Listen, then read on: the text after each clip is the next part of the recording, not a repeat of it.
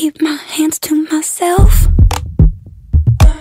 No matter how hard I'm trying to, I want you all to myself. Your metaphorical gin and juice. So come on, give me a taste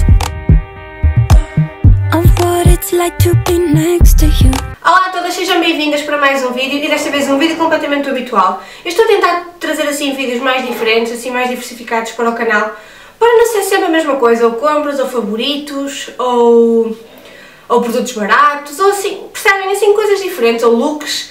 Estou a tentar trazer assim coisas diferentes, então por isso é que hoje vos trago um DIY, um do it yourself, que é basicamente uma...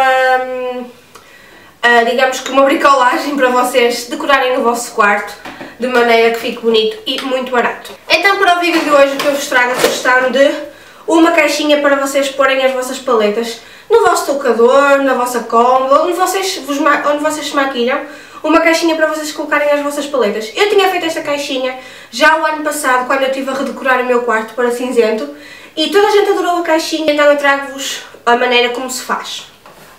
Eu tenho esta, como vocês viram, mas desta vez eu resolvi fazer uma diferente. Decidi fazer uma com, uma com tampinha para, para eu colocar na minha cómoda com algum, sei lá, com algumas bugigangas, com algumas coisas que eu não quero que estejam à vista, então eu meto aqui dentro da caixinha. Como vocês podem ver, ela é uma caixa normal, eu simplesmente só decorei com estas coisinhas que nós compramos nos chineses. Isto fica muito, muito, muito barato. A caixa eu comprei no IKEA por 1,49€. Estes trecozinhos Uh, estas pedras. Eu comprei nos chineses vários, vários, vários tamanhos, vários formatos e devia ter custado por volta de 2 euros, 1,75€, 1,5€ por aí.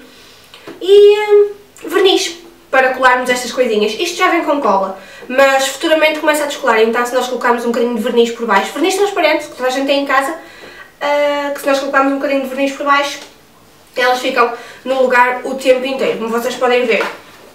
Esta aqui tem aqui só este, este detalhe, porque eu quis que ficasse assim mais simples. Aquela como tem a tampinha, eu decidi fazer uma coisa assim mais pirosa, vá. Um, mas o que eu ia dizer, eu tenho estes, estas pedrinhas já coladas desde o ano passado, deve estar praticamente a fazer um ano, e elas estão aqui ainda intactas por toda a caixinha. Quiseres saber como é que eu fiz? Vem comigo. Então o que vamos precisar para este do it yourself é uma caixa. Esta é do IKEA, uma lata de tinta, eu estou a usar prata, mas cada uma escolhe a cor. Uh, pedras decorativas, eu comprei estas nos chineses, comprei vários formatos. Então vamos lá começar por abrir a nossa caixa. Uh, estas do IKEA vêm assim desmontadas e posteriormente vamos então montá-las. Isto é muito fácil de montar. Estas do IKEA eu já comprei várias, de vários tamanhos. São muito fáceis de montar, como vocês podem ver. E vamos começar então a pintar a nossa caixa. Comecem pelos lados maiores e só depois passem aos lados mais pequenos porque é mais fácil.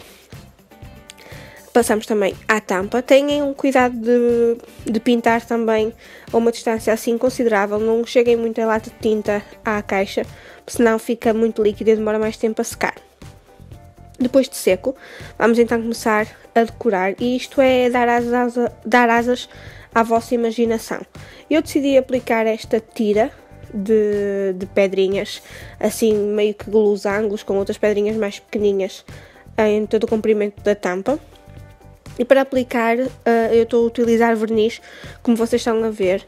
Eu não disse nos, nos, nos itens necessários, mas uh, o verniz é, um, é um excelente, uma excelente cola para este tipo de material.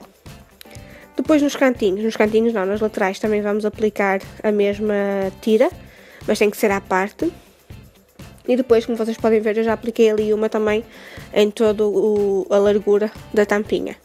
Eu estou a, a, recriar assim, tipo, à minha maneira mesmo. Cada uma agora faz como preferir. Eu achei que no, no meio estava assim um bocadinho vazio. E então comecei a pôr pedrinhas atrás de pedrinhas atrás de pedrinhas.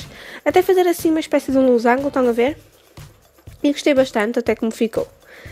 Também estava a achar que a caixa, a, caixa em si, estava digamos que muito vazia, então o que eu fiz foi começar a aplicar uma tira em todo o redor da caixa para encher mais um bocadinho e a deixar então da forma como vocês podem ver no vídeo.